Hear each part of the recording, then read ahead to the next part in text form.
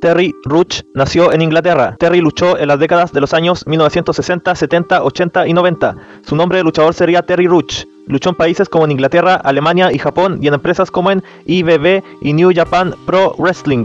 Se enfrentó a oponentes como a Dave Morgan, William Regal, Haruka Eigen, Steve Wright, entre muchos más. Además de ser luchador, Terry actuó en varias películas.